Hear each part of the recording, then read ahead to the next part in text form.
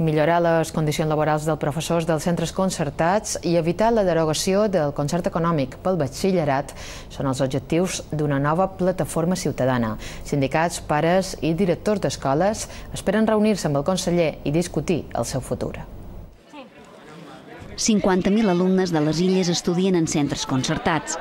El 2007 es va crear un concert econòmic per abaratir el preu que paguen els pares. Ara la Conselleria està revisant el decret que ho regula. Sindicats, associacions de pares i directius asseguren que el govern vol eliminar les ajudes al batxillerat concertat perquè les aules dels centres públics estan buides. Per evitar-ho han creat una plataforma i han signat un manifest.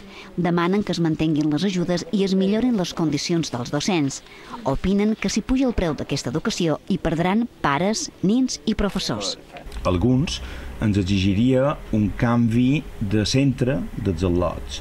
Això redundaria en perjudici de lo que son los nuestros infantes. Los centros al final no tendrán las ratios suficientes y habrá, de, habrá despidos del personal que está trabajando en, los, en, los, en las etapas postobligatòries. Des de la Conselleria es demana calma perquè de moment no hi ha cap decisió presa.